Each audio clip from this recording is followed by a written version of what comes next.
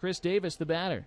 Here's the pitch, and a fastball ripped deep to left center field. Way back toward the wall. It's off that fence and kicks at an angle along the warning track, way out towards deep right center.